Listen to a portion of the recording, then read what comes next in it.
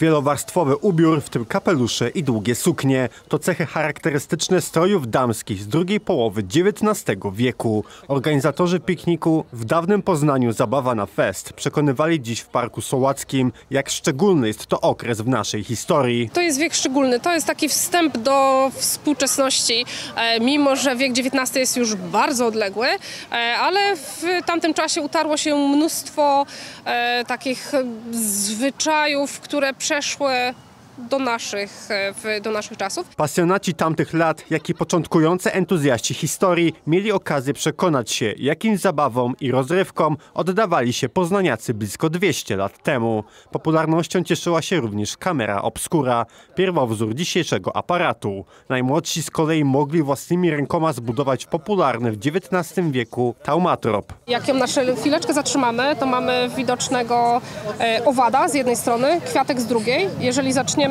zabawką obracać, wprawimy ją w ruch, to te dwa obrazy nakładają się na siebie, e, bo nasz mózg nie przetwarza tych obrazów tak szybko, żeby je rozdzielić. E, No i w ten sposób powstaje animacja. Dzisiejsze spotkanie z cyklu w dawnym Poznaniu Zabawa na Fest było ostatnim w tym roku.